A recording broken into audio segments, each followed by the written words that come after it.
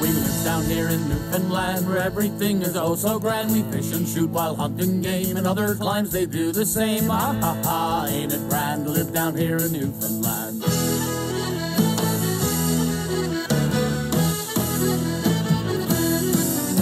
This land is famed for the caribou, all sorts of birds abound. Here too,